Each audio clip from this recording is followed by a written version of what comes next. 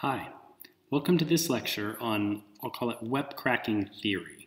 So here I'm going to introduce you to some of the background on exactly how WEP is broken and what kind of things we need to do in order to exploit those breaks. So like we've said before, WEP is broken. But today I want to talk about what are the flaws in WEP that cause all the trouble, what needs to be done in, in order to exploit those flaws. And hopefully this will give you enough background so that you understand the problems with WEP, so you can think about them and reason about them, and then also understand how the cracking tools actually work when you use them. So the first thing to talk about with WEP is the cipher that it uses. So WEP uses the RC4 cipher, and RC4 is a stream cipher. And you may remember that the way a stream cipher works is you start with a key, and you pass that through the stream cipher, in this case RC4, and it gives you key stream, which is a pseudo-random string of bits. We take that pseudo-random string of bits, and we combine it with the plain text, and the way we combine it is with exclusive OR. So we exclusive OR key stream with plain text, the data we want to encrypt, and we get out our ciphertext. So that's a stream cipher. WEP uses a stream cipher. So the key, how does WEP choose the key? Well, there's a lot of moving things around, but in the beginning, uh, there's a 128-bit key that's chosen by the user in some way, usually on the router configuration, or the router chooses it randomly and just tells it to the user, but it's 128 bits. And this is the key that you end up having to type in in hexadecimal when you want to connect to a WEP network. From that 128-bit key, four root keys are derived. And they're 104 bits each. It's just we do some sort of mathematical operation on the 128-bit key to produce four 104-bit root keys. But only the first root key is ever really used in practice. So four are generated, but only the first one is ever actually used. The other three were just there as part of the standard, but no one ended up using them. And when you encrypt a packet in WEP, the root key is combined with a 24-bit initial vector to provide the actual encryption key that's passed to RC4. And the IV should change for every packet. Because remember, when you use a stream cipher, you never want to reuse the same key because the same key results in the same key stream. And if you use the same key stream, an attacker could potentially exploit that against you. So they added a 24-bit initial vector into the key in order to make sure it changes for every packet. So how does WEP handle encrypting a packet? Well, we take our root key, which is the same used for every packet. We append the 24-bit initial vector, and that, that, that as a whole is 128 bits. So we take that 128 bits and we use that as the key into RC4. And that produces key stream.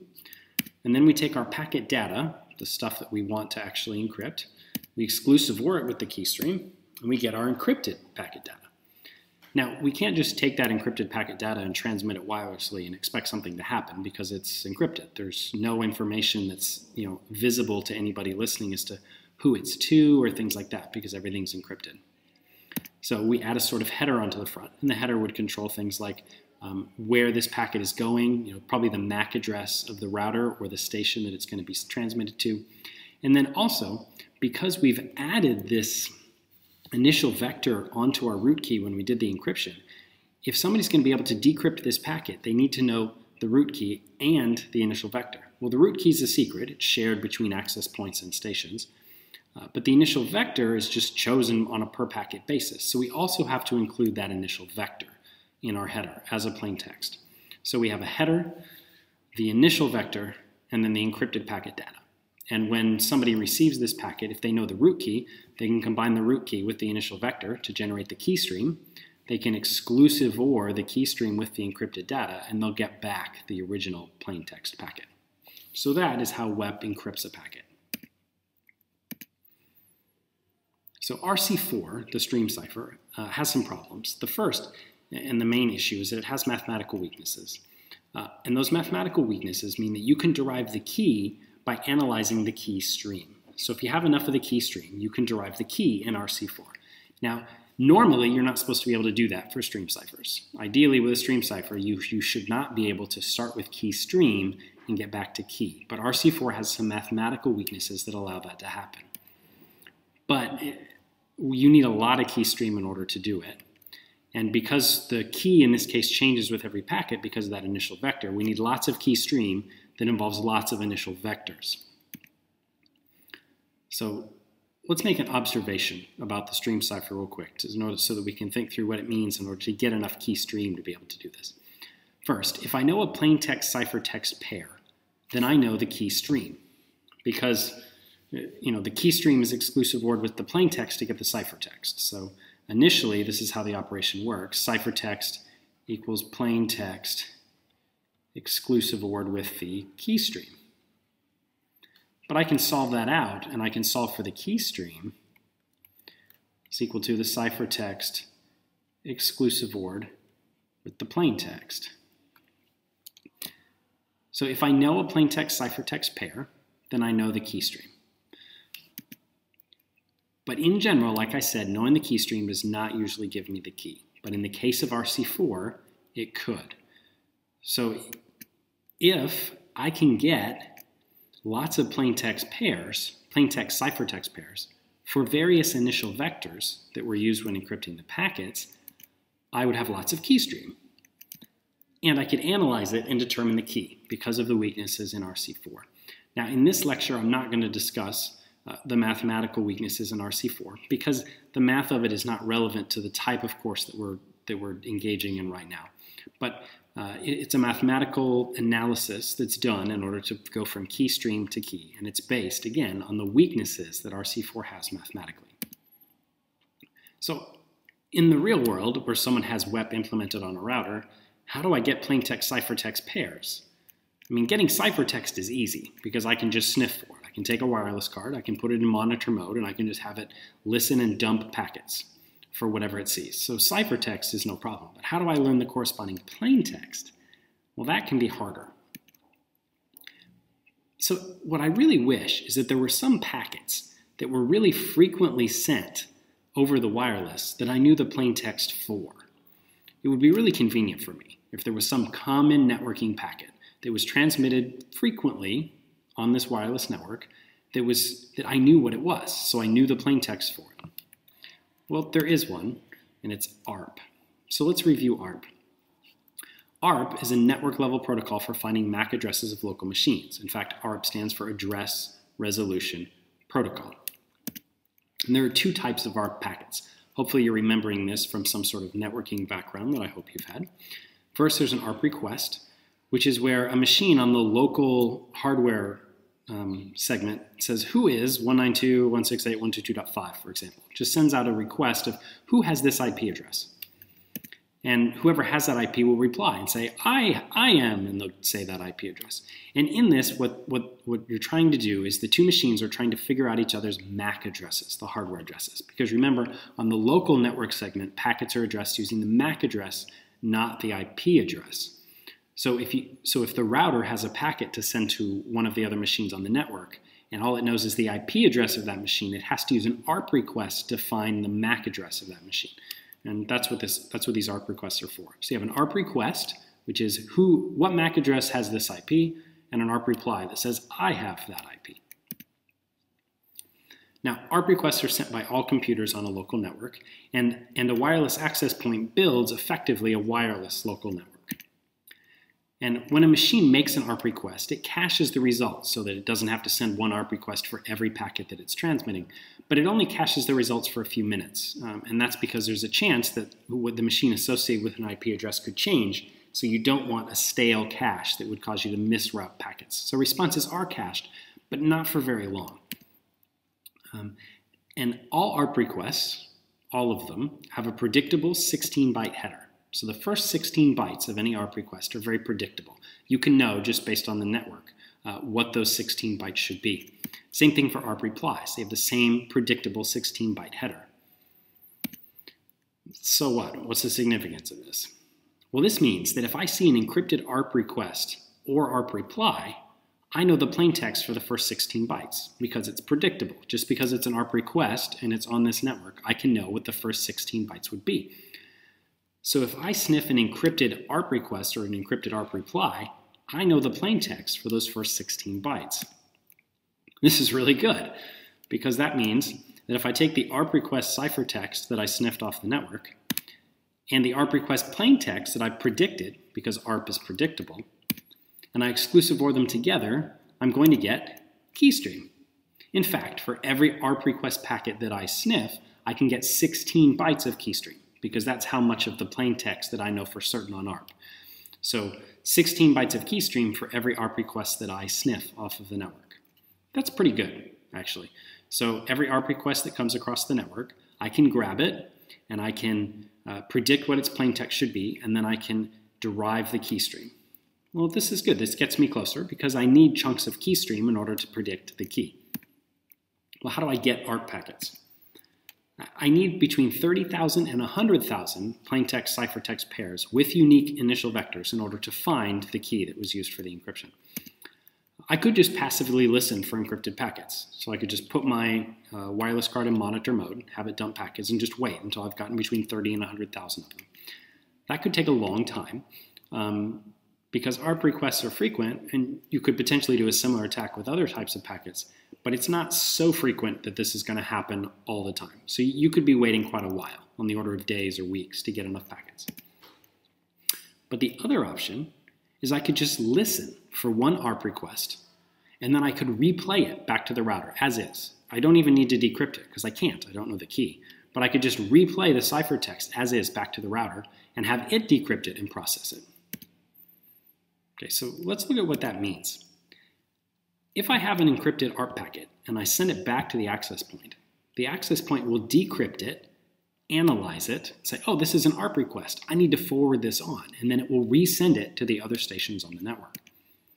And it resends because ARP packets, are ARP requests at least, are broadcast packets. They're sent to everybody on the local network. So when the access point receives an ARP request packet from me, it thinks it needs to broadcast it to everybody else on the network. So it'll receive mine, re-encrypt it, and send it to everybody else. And when it does that re-encryption, it uses a new initial vector, which is good because I'm trying to get as many different packets with different initial vectors as I can. Okay, so how do I, first of all, get the initial ARP packet? How do I do my ARP sniffing? Well, I, if I'm the attacker here on the left, then all I'm going to do is I'm going to set my wireless card for monitor mode. And I've illustrated that here by just kind of using these two lines to show that I'm, I'm watching for anything that occurs in that area. And then let's say that the access point sends an ARP request out, and it's really targeting this machine over here, 192.168.122.5, but it's wireless, so that is broadcast everywhere. The attacker can see that ARP request that was sent and just keeps a copy of it. Now remember, this is encrypted, so the attacker can't decrypt it, but he just keeps a copy of the encrypted ARP request. And at this point, a lot of people say, well, if it's encrypted, how does the attacker know it's an ARP request? And that's a good question, but usually you pick it out based on the size of the packet. So data packets and such on most networks are fairly large because they're carrying lots of data. ARP requests tend to be small and of a specific size. So based on the specific size of the encrypted packet, uh, our attacker guesses that it's an ARP packet and saves a copy of it. Well, then the attacker says, well, I want to replay this packet in order to get more. So what does he do? He takes his stolen encrypted packet and he transmits it back to the access point. The access point receives it, processes it, says, oh, this is an ARP request. I better broadcast this. Re-encrypts it with a new initial vector. So remember, the, the original packet that I sniffed used, used you know, some initial vector, I'll call it IV1. This resend uses a different initial vector. I'll call it IV2. Then that ARP request packet goes down to the, to, to the machine that was it was targeted for, who receives it, and then sends an ARP reply. You know, IM, whatever that IP address is. And that ARP reply is encrypted with another initial vector. So that's good. So far, I have three different initial vectors.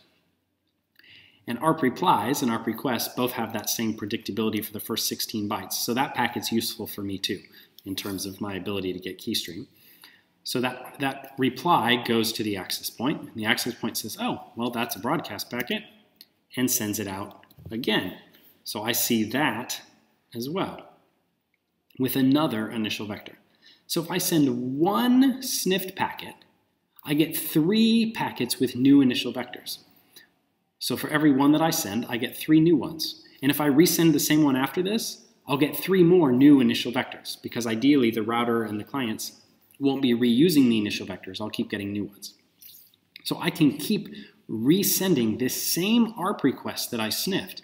And every time I do, I'll get three new packets that are useful for me for building up my, you know, my chunk of data that I need to analyze. So I send one, I get back three. And the tools that do this can actually send pretty fast. The common rate is 500 packets per second. So I can send 500 replayed ARP requests per second and get back lots of replies.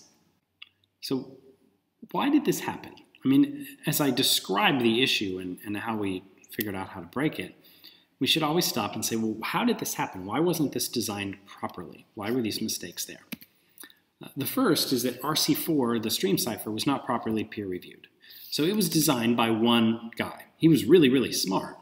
Um, in fact, he was Ron Rivest, one of the men who invented RSA, which is modern public key cryptography, potentially one of the best cryptographers in the world. He designed RC4, um, but he designed it himself, and he's only one person. And so uh, he didn't open it up for peer review, and he, he kept it a secret for a while. He used it in a company that he was that he was running, and so it was not properly peer reviewed by other cryptographers in the community until later, until after it had already been deployed and used in uh, widely. After people started to analyze it, they began to find flaws and mistakes in it, such as the mathematical weakness that allows us to derive the key from the key stream. The second problem was that the WEP standard was not properly peer reviewed. So the WEP standard was designed by uh, the Wireless Alliance that was putting together the Wi-Fi standards, and they brought in security people. But the standard itself was not properly peer reviewed, and so these, the, some of the flaws in the way WEP was implemented also made it into the standard and weren't caught until after it had been released and widely deployed. Uh, another issue is that wireless traffic in general has a lot of dynamics that make it hard to do cryptography right. So for example, these ARP requests with the same 16 byte headers, well, that's something that's kind of unique to, to, to networking, right? I mean, a lot of implementations of cryptography wouldn't have a situation where it's really easy to get plain text ciphertext pairs. But in this case, it is really easy to get plain text ciphertext pairs. And so instead of, instead of the attacker having to perform a ciphertext only attack and get the key, the attacker gets to perform a known plaintext attack and get the key, which is effectively what's happening here. He gets lots and lots of plaintext ciphertext pairs and uses those. So overall, as you look at what happened in the design of WEP, the biggest issue was that not enough smart people looked at it. It wasn't open enough for peer review. And so because of that, it got released with flaws. And then when peer review did happen, after it had been widely deployed, it was too late to really fix it. Because once you have thousands or even tens of thousands of wireless routers that have been sold and in use with WEP on them, you can't just patch the standard and move on because all of those routers would become obsolete. So it becomes this really painful situation. So let's summarize. Uh, first, WEP is easy to break. Uh, and the reason it's easy to break is because RC4 has mathematical weaknesses. Um, WEP uses the initial vector in a bad way by making it part of the key in the way that it did. Uh, it's really easy to predict the plain text for many packets on a network, like the ARP packets, which further makes the attack easier.